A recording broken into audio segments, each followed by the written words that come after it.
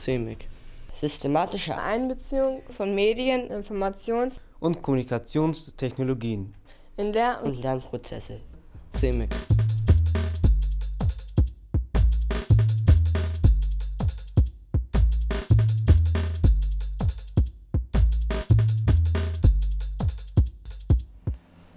Der Stellenwert des Computers in der Zukunft ist natürlich, äh, dass er sich in allen Wirtschafts- und Berufszweigen ausbreitet.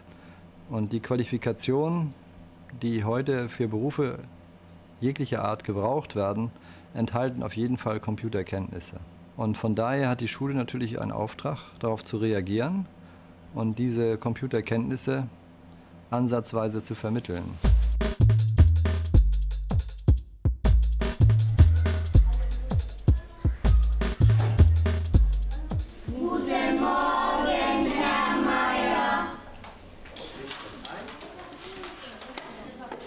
Das Fach heißt Informationstechnische Grundbildung und äh, wir versuchen in der fünften Klasse den Schülern die Grundlagen des Umgangs mit dem Computer beizubringen.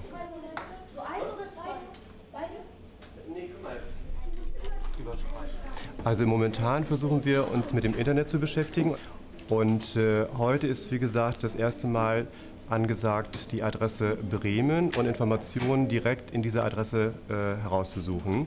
Wie heißt denn nun der Präsident Senats, unser erster Bürgermeister? Tarek. Dr. Henning Scherf, ne?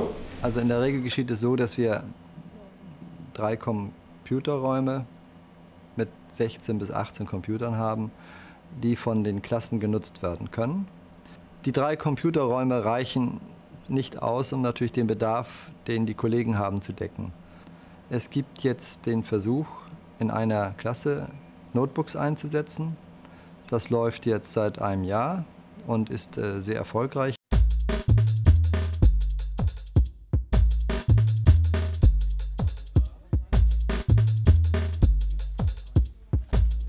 Ja, heute im Unterricht sollten die Schüler halt äh, in Gruppen eine Matheaufgabe lösen zur Geometrie und äh, sollten Dreiecke konstruieren im ersten Schritt sollten die Schüler innerhalb der Gruppe äh, einen Lösungsweg skizzieren und äh, dann mit äh, dem Programm Capri diesen Lösungsweg einfach umsetzen.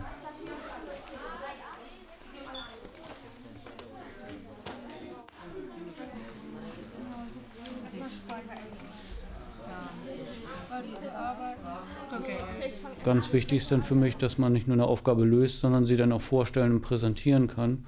Und deshalb äh, der Übertrag ins PowerPoint-Dokument und dann ganz wichtig die Vorstellung.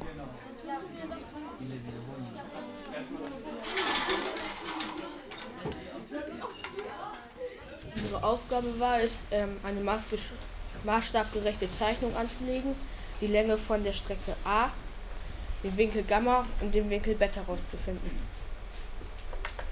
Die Lösung der Aufgabe ist die Strecke BC, die ist 6 cm, den Winkel Gamma, der ist 79,7. Das Tolle an dem Projekt ist, dass man eigentlich ein ganz anderes Verhältnis zu den Schülern bekommt. Man hat endlich mal Zeit, sich auch mal fünf Minuten oder zehn Minuten neben äh, Schülern hinzusetzen, sich das in Ruhe anzugucken und äh, die Zeit hat man im klassischen Frontalunterricht eigentlich nie. Der Computerunterricht führt allmählich dazu, dass wir lernen, mit den Schülern anders zu kommunizieren.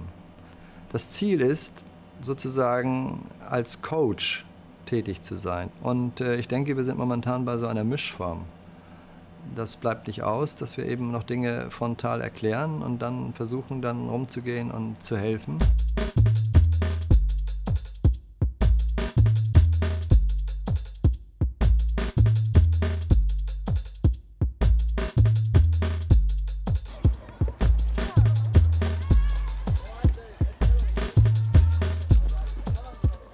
Das Konzept unserer Schule ist eigentlich, äh, den Unterricht zu verändern, dahingehend offene Unterrichtsformen einzuführen oder weiter äh, fortzuschreiben, äh, Projektunterricht zu machen und dazu den Computer als Hilfsmittel zu benutzen.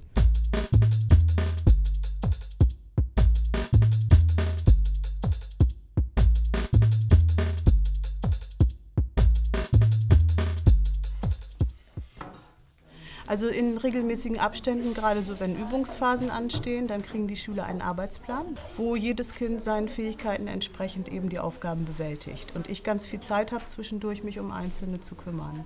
Da machen sie in kleinen Gruppen teilweise gemeinsam was, aber auch unter Umständen einzeln. Und äh, sie können im Prinzip diese Schule benutzen, wie sie so ist, mit ihren Medien, mit ihren Räumen, mit ihren Druckern, mit Papier, mit Büchern, mit allem, was zur Verfügung steht. Früher haben wir eben mit unseren drei Rechnern gearbeitet, die da hinten stehen. Und jetzt stehen noch die Laptops zur Verfügung. Das heißt, es ist erstmal mehr Leben in der Bude. Die Kinder laufen viel mehr rum, sie holen sich die Geräte, arbeiten damit und können jederzeit an alle Informationen ran.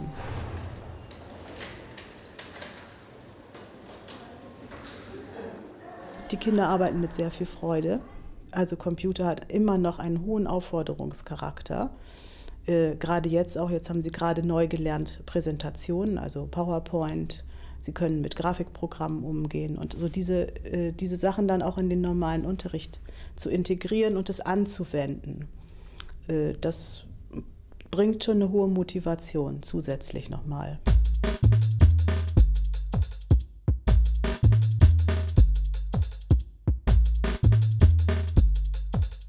Ja, also wir hatten zuerst hatten wir die Idee, dass wir Teestöffchen herstellen und dann an einem Tag ist unsere Lehrerin reingekommen und hat gesagt, äh, wollen wir nicht mal ausprobieren, wie es ist, wenn man Stöfchen am Band produziert und wie es dann auch später in einer großen Firma ist. Sie würde gerne so ein Projekt daraus machen, dass wir Stöfchen, dass wir die Stöfchen dann vielleicht auch verkaufen.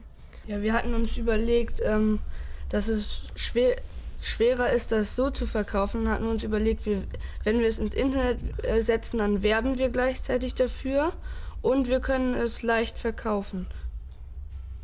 Ich habe im Internet gesucht nach einem kostenlosen Programm, wo ich eine Homepage designen konnte und habe mich dann eben da angemeldet und habe dann eben angefangen, das an, zu designen und habe das dann eben der Klasse mal vorgestellt und ähm, die haben dann eben Verbesserungsvorschläge gemacht.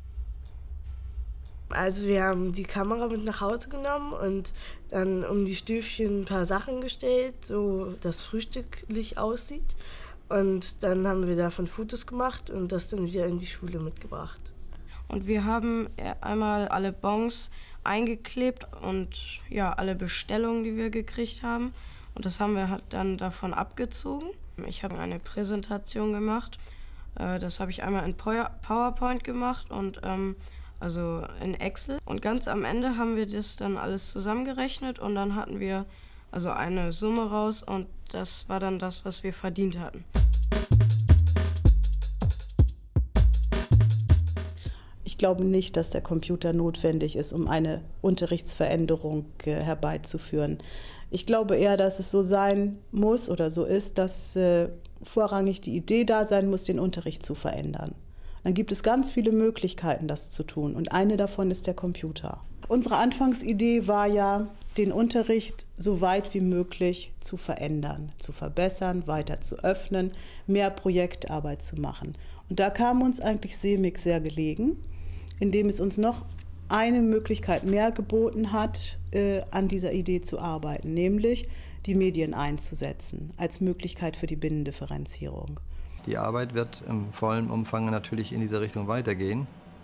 Erstens haben wir in Selmig gelernt, dass äh, inhaltliche Fortbildung ein ganz wichtiger Faktor ist. Das heißt, nicht die technische Fortbildung, die technische Ausstattung machen die Entwicklung, sondern es muss auch inhaltlich etwas getan werden. Also um Schule zu verändern, braucht man sicherlich überhaupt keine Computer. Dazu ist notwendig, dass wir innerhalb der Lehrerschaft die Möglichkeit haben, andere Formen und andere Arbeitsformen zu entwickeln mit den Schülern. Nicht, dass die Schule als Ganzes eben ein bisschen wegkommt aus diesem tradierten Bild einer Erziehungsanstalt, sondern hinkommt zu einem kameradschaftlichen Lernumfeld, in dem auch viel Soziales geschehen muss.